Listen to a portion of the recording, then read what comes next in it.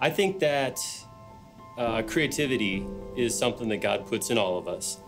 Um, for me, it's uh, almost a need to express myself, um, making something out of something else, um, taking time and uh, making time in my schedule to create things, to, to make things.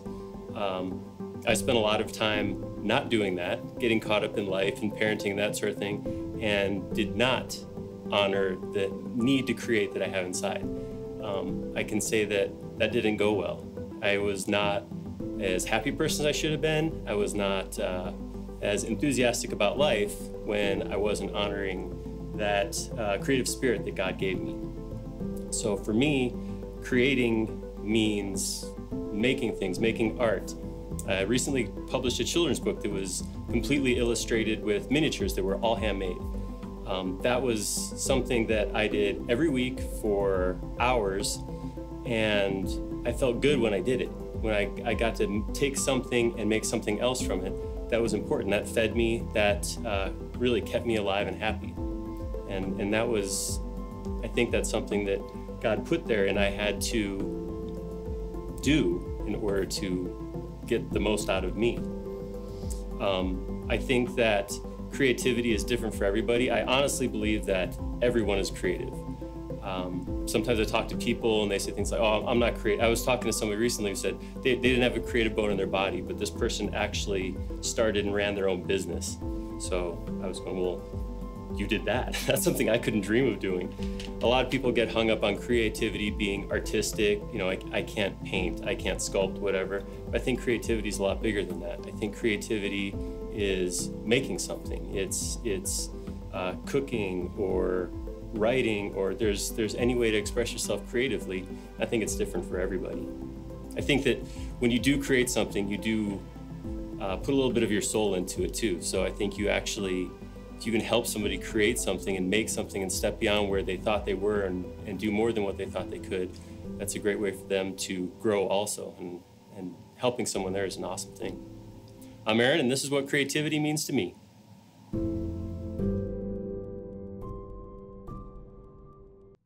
Good morning. Aaron's got some of his books uh, out in the cafe area if you're interested in checking those out. And uh, let me just start by asking you a question What are you dreaming about? Or are you even dreaming?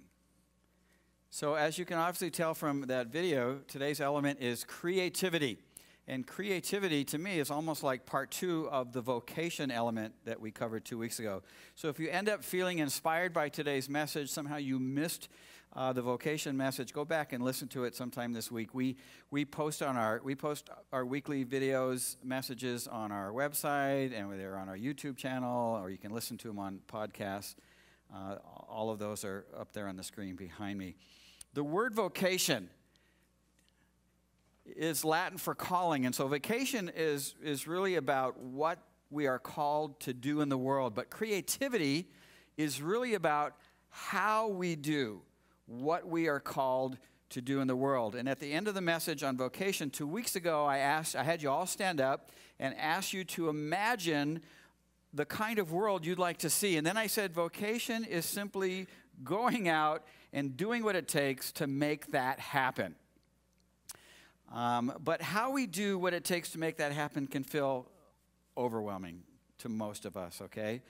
Um, how do we move from imagining to implementing? And that's where creativity comes into play. Creativity is simply putting our God given imagination into action. It, it's a powerful tool that God has given to each and every person on this planet. This is obviously my beautiful wife, Andrea being videoed by Lana, who's being videoed by our camera. Uh, it just gets really creepy after that. Okay. But Andrea is putting her God given imagination into action by using the artistic gifts that God has given her. And she'll be creating this painting. She started it in first service, do it this service, and she'll uh, do it again continue it, hopefully finish it up in the last service. We'll take it home. She'll finish it up. We'll frame it. We'll bring it back next week. And we'll offer it uh, to the highest bidder. And 100% of what that person bids will go to one of our common good uh, projects, I'm guessing it's going to go to David in Uganda. That's my guess. Okay, so come back next week and see how this works out. But as you see Andrea painting up here, as Aaron said in that video, you might already be thinking, you know, Rabbi Gene, God didn't give me any artistic gifts, so this message really isn't for me, right? No. Here's what God gave everyone God gave everyone an imagination. And so, if I can be bold enough, I want to say that the premise of creativity is that if you can imagine something and you can, then it's possible to make it happen. And so creativity is simply putting what you imagine into action. And if I have correctly defined creativity, then everyone on this planet is considered a creative.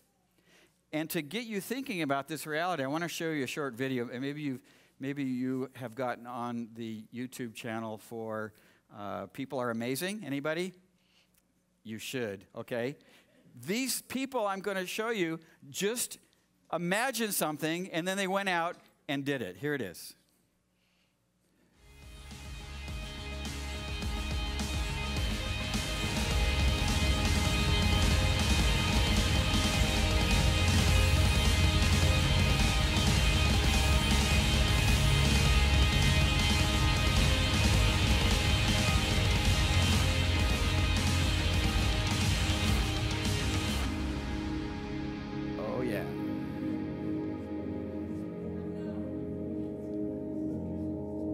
this.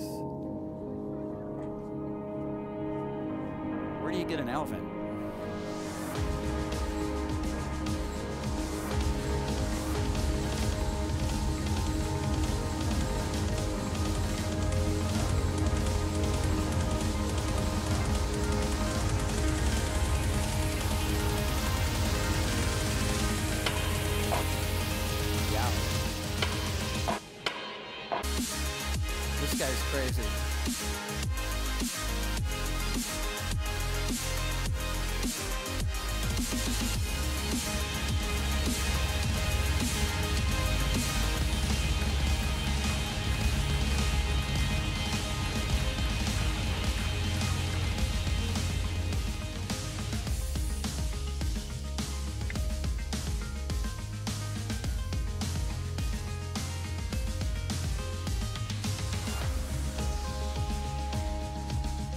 Ridiculous?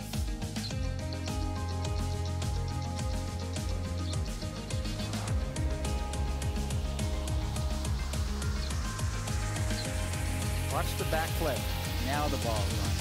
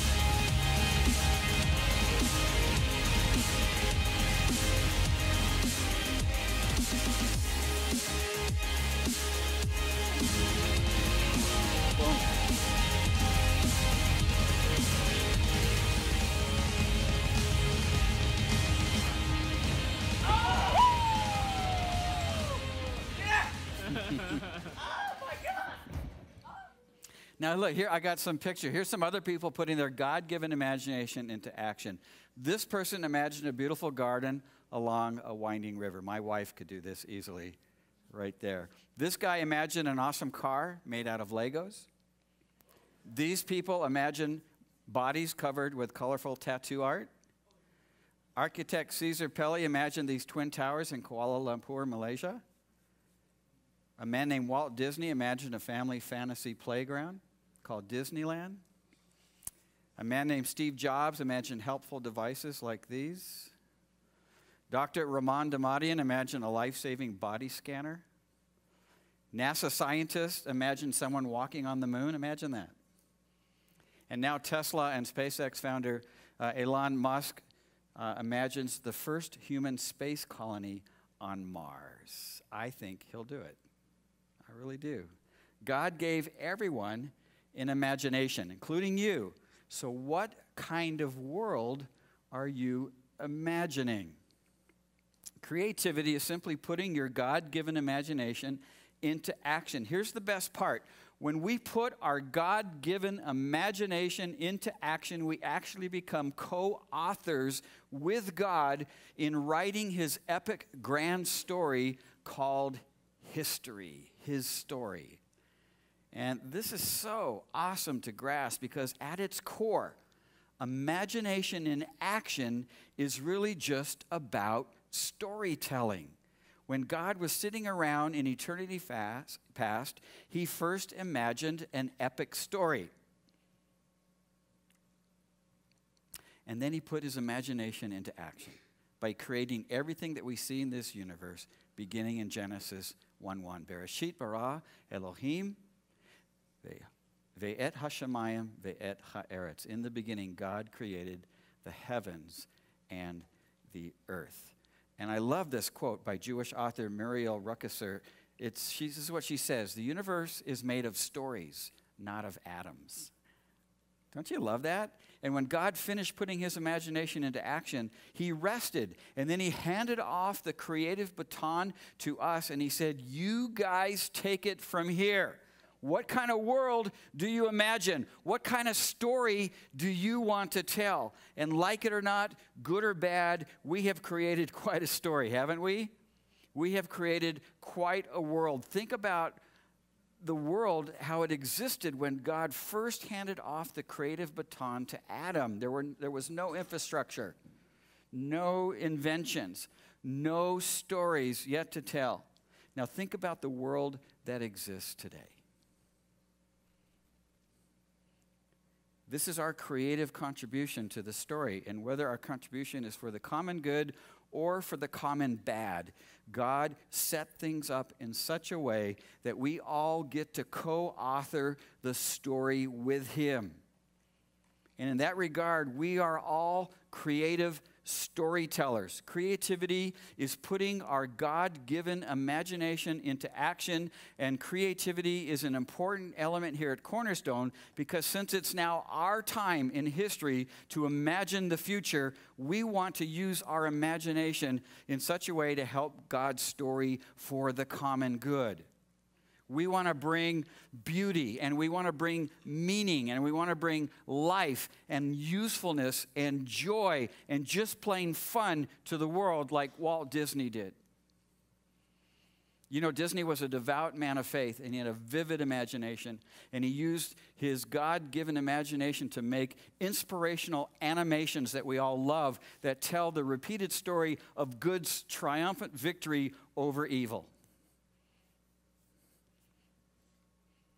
What kind of world do you imagine? What kind of story do you want to tell?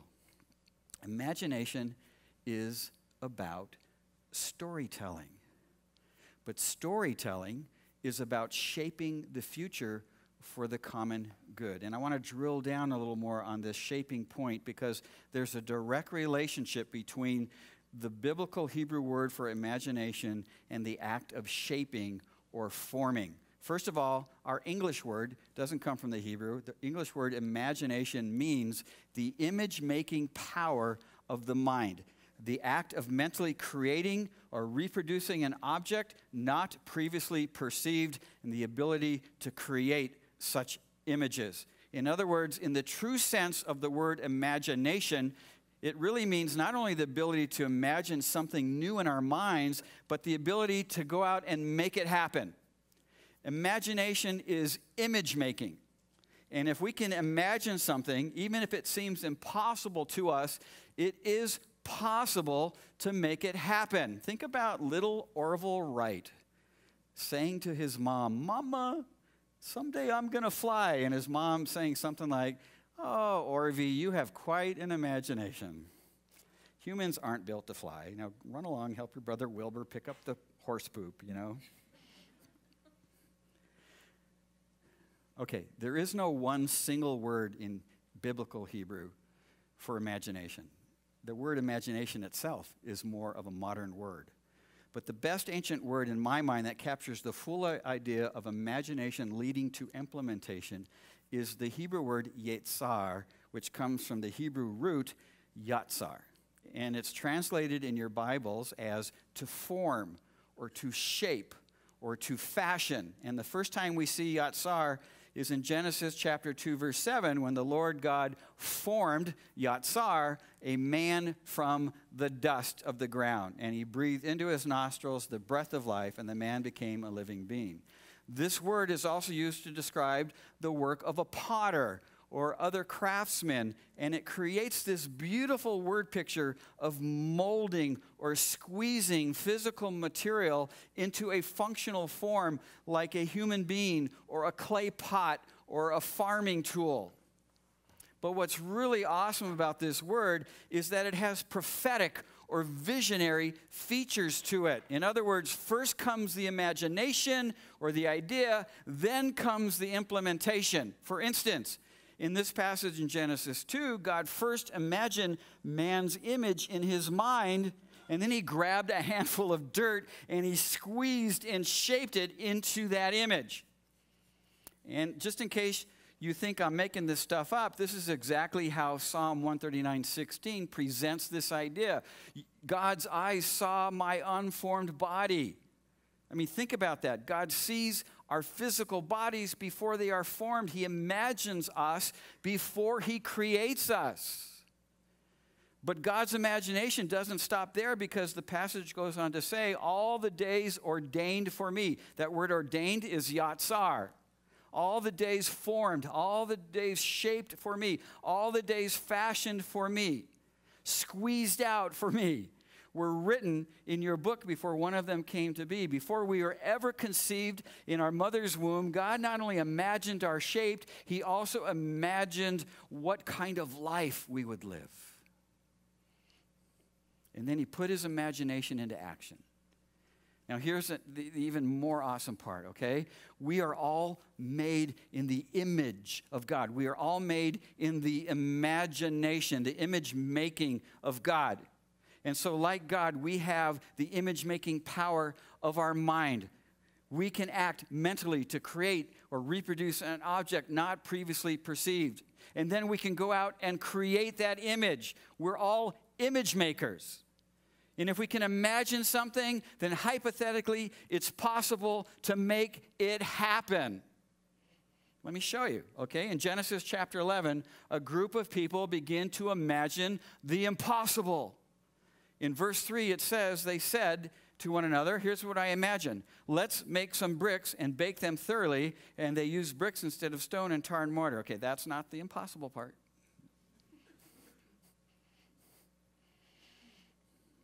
Here's the impossible part. And then they said, Come, let us build ourselves a city with a tower that reaches to the heavens, so that we may make a name for ourselves. Otherwise, we will be scattered over the face of the whole earth. Now, I don't know. You know, you know how my mind thinks. So I ask questions. It's not recorded here, but don't you think someone in that crowd shouted out, You've got to be kidding, right? This has never been done. What you are suggesting is impossible. You're just a bunch of fools.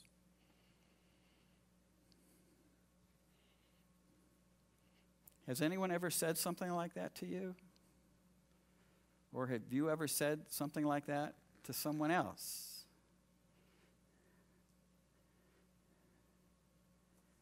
So look what happens. The Lord comes down and sees the city and the tower people were bidding and building, and he says, If as one people speaking in the same language they've begun to do this, then nothing they plan to do will be impossible for them. God seems to think that what they are imagining is possible, and so he puts the kibosh on it.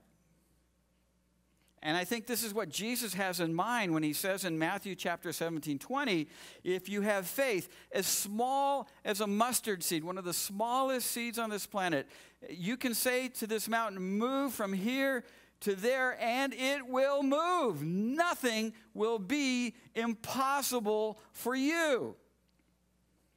Now, I'm not aware of a single documented case when a human being moved a literal mountain by just speaking to it. I know some of you are going to go home and Google it, and you're going to find you know, several places where somebody said it happened, but trust me, it hasn't happened.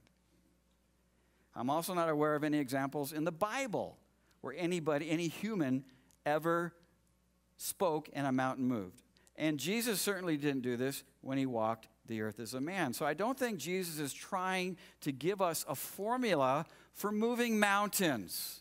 So if you're in the excavation business, this is not a shortcut to save money. He's merely emphasizing that when we mix our God given imagination with even just a small amount of faith, anything is possible. Is he guaranteeing that it will happen? No, but I can tell you this much it will never happen if you don't try. A wise person once said, if you aim at nothing, that's exactly what you'll end up with. So, Andrea and I weren't here last week because we went to California. It was my brother's 70th birthday, and we went to visit my mom. My mom's going to be 90 next, 91 next month. And praise God, she's doing great. She's still driving, she's still staying pretty active. But last year, at her request, we moved her into a retirement facility. And when we were there last week, they have a respite apartment for family to come stay while you visit your, your mom or your, your dad. And so we actually stayed in, in the respite apartment in the retirement facility. And, uh, and so we. ignore the lady the painter. yeah, I'm a classy guy. I take her to all the great spots.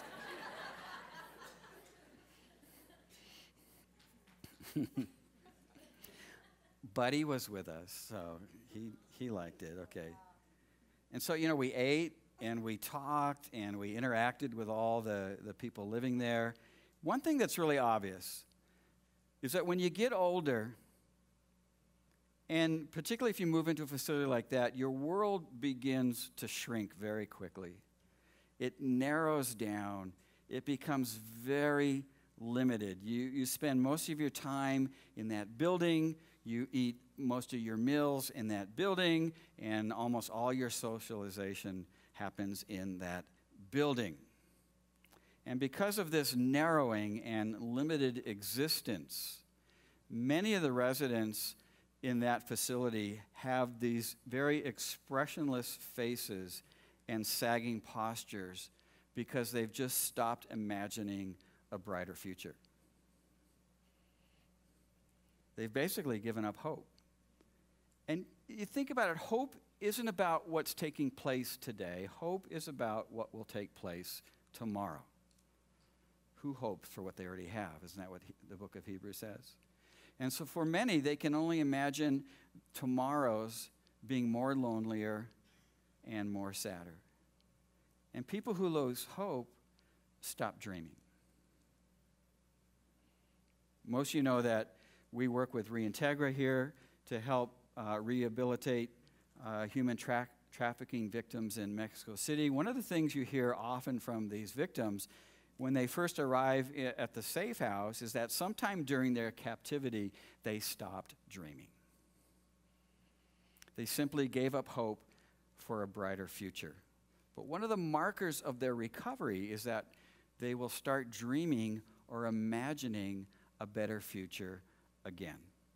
And you've heard some of the incredible inspirational stories of these brave ladies who are now some lawyers, some nurses, some entrepreneurs, these beautiful, courageous, and creative women have become storytellers by putting their God given imagination into action to, co- to co author the grand story along with God. It's a beautiful sight to behold. It's one of the, the best things we do here at Cornerstone. It's why I travel to Mexico City whenever I can when these girls graduate. It's just nothing short of inspiring.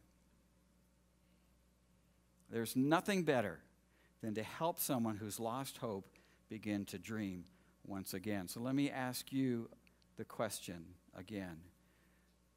When did you stop dreaming?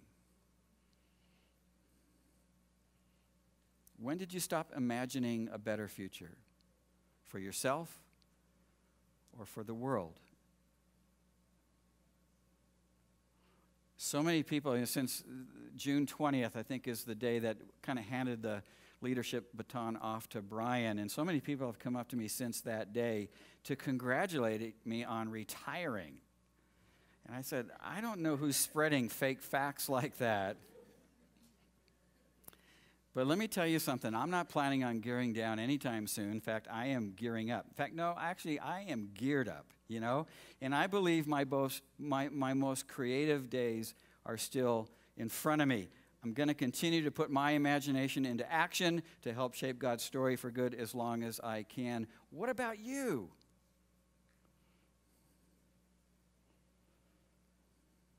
Is your world becoming narrower more limited?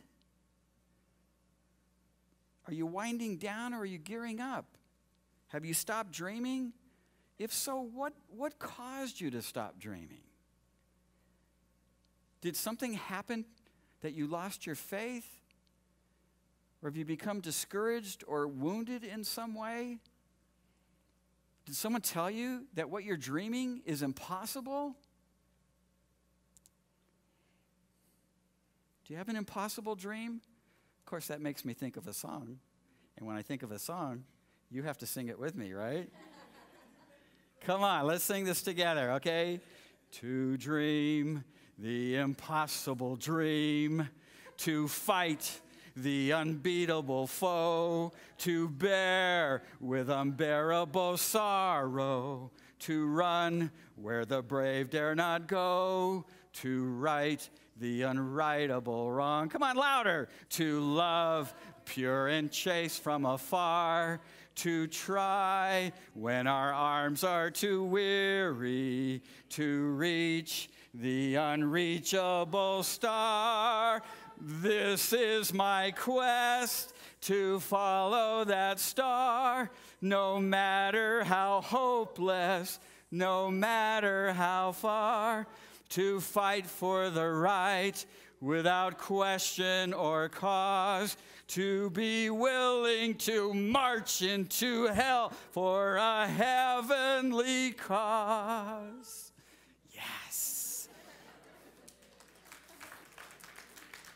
I'm. I'm not sure when I became a motivational speaker. But if you don't stop smoking weed on that couch, you're going to end up in a van down by the river eating government cheese. Okay. That's a message for Boulder, right?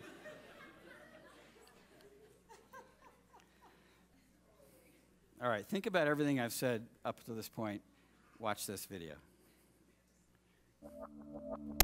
She is a fast, she is a fast, she is a fast. He's too short, he's too short. He's good, but not great enough, but not great enough. She failed, she failed, she shall fail. He's not down, he's not down, he's not down, not down. He has no chance, he has no chance, he has no chance. She should quit, she should quit. He should stop dreaming. It starts in my mind.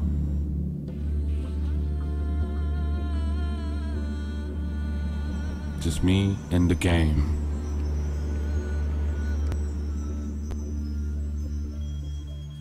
I don't play against opponents.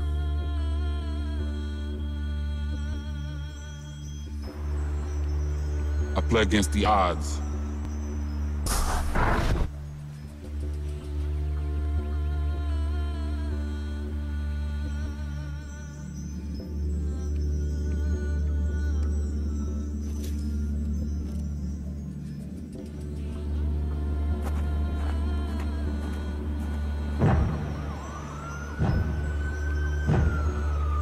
Play against all those who say I'm not tall enough, not strong enough, not fast enough, not good enough, not talented enough. Well, it's not their fight to fight, it's mine.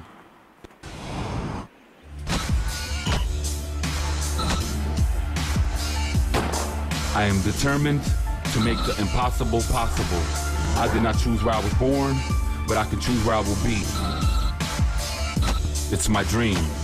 It's my challenge. It's my chance. It's my life. It's my faith. It's my strength. It's my passion. It's my desire. It's my effort. It's my sacrifice. It's my moment. It's my game. It's my world.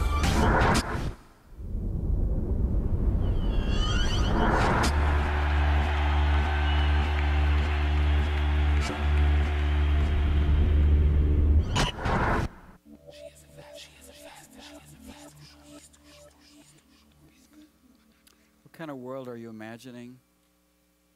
What kind of story do you want to tell? Creativity is putting your God given imagination into action. Imagination is about storytelling, and storytelling is about shaping the future for the common good. So this week starts Rosh Hashanah, which is really the feast of Yom Teruah, the blowing of the trumpets. But it's a, it's a day that we can mark, right? We can days mark as a new year, a, a, be, a fresh beginning. From that point on, from Rosh Hashanah to Yom Kippur, that called the days of awe, time to reflect about what we did last year, where we fell short, so that this year we can make a change.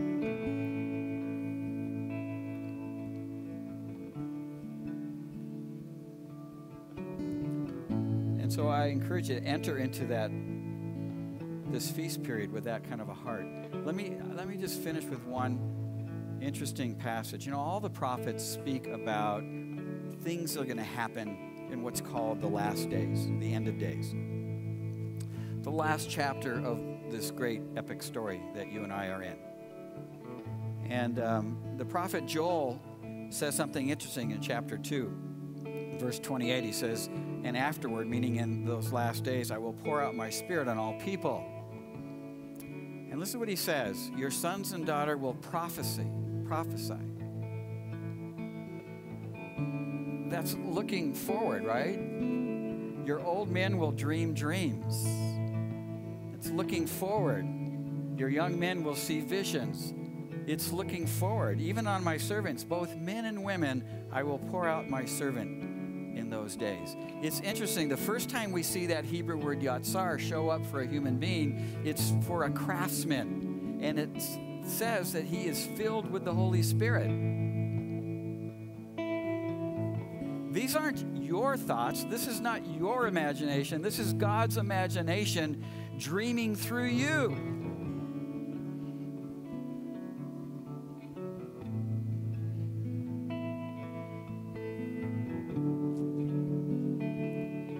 What God wants to do. He wants to dream through us. He's not done creating, He's just using us to do it. And so I pray that as we sing this next song, that you can embrace the words as a prayer. Awaken my soul. Come awake to hunger, to seek, to thirst. Awaken first love. Come awake. Do as you did first. Remember those days when you first believed, how excited you were to change the world. Spirit of the living God, fall afresh on me. Come wake me from my sleep. May that be your prayer. Let's stand up. Father, open our hearts, wake us up. If we've been wounded in some way, we've given up hope, we've stopped dreaming, turn those dreams back on, Father. Help us believe the impossible again.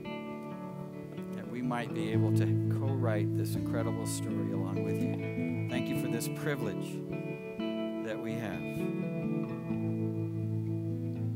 Hashem Yeshua HaMashiach, it's in Jesus' name.